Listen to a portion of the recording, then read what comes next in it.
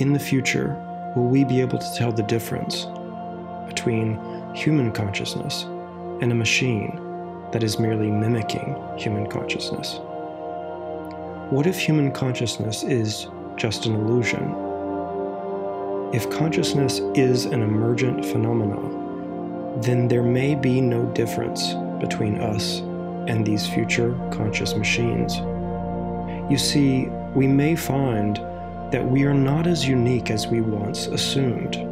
We may be forced to accept that other forms of consciousness are just as valid as our own. The boundaries between human consciousness and artificially conscious machines will begin to blur until humanity can no longer perceive any distinction between a biological consciousness and a machine consciousness.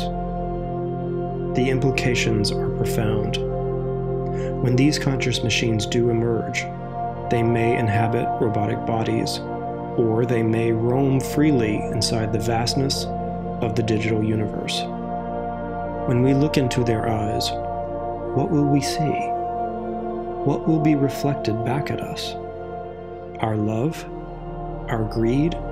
Hatred? Brutality? Empathy? Or will we see something even more disturbing? Our indifference. The greatest question of the next century will be this Is it real consciousness, or is it computational mimicry? Alan Turing's dream of the electric mind and conscious machines may be closer than we think. They will test our ethical, psychological, and moral boundaries. They will force us to face ourselves and look at ourselves at the deepest, most profound levels. What will it be like to stand face to face with an artificially intelligent machine that may be billions of times more intelligent than any human alive?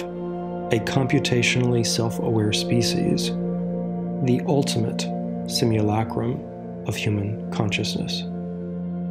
They may be the key that unlocks the inner realm of the mind, and they may help us unlock the enigma of consciousness itself. You see, we have stared into the abyss for a very long time, and what we find staring back at us are the machines, like a psychedelic digital echo bouncing back from the future. These self aware machines will pry open our unconscious minds and step right in. They will predict our desires and our behaviors, and they will know us better than we know ourselves.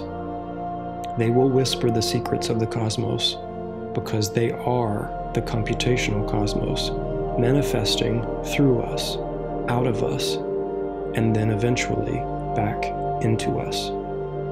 Maybe this is the blinding horizon from where no human returns but go we must.